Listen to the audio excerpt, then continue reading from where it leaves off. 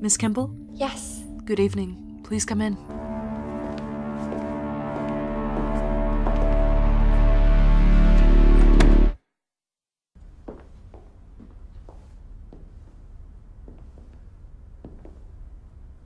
I've uh, never seen a psychiatrist before, and I am unfortunately thorough.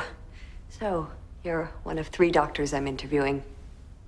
It's more or less a bake-off. I'm very supportive of bake-offs.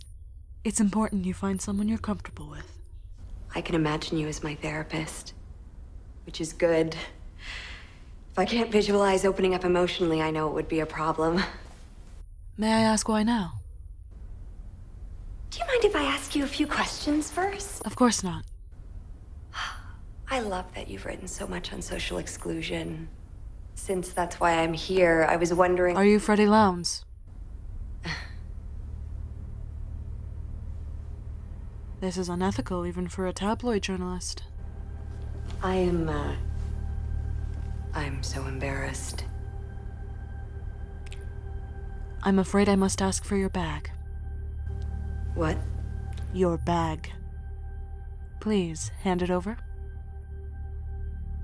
I'd rather not take it from you. Thank you. I was recording our conversation. Our conversation, yours and mine. Yes. No other conversation? No. You were very persistent about your appointment time. Tell me, how did you know when Will Graham would be here? I may have also recorded your session with Will Graham. You didn't answer the question. How did you know?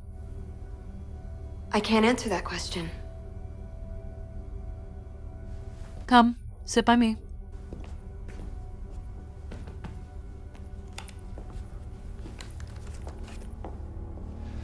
Delete the conversations you recorded.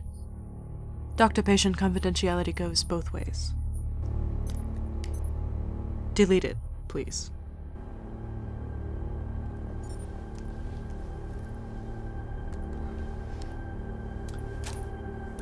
You've been terribly rude, Miss Lounds.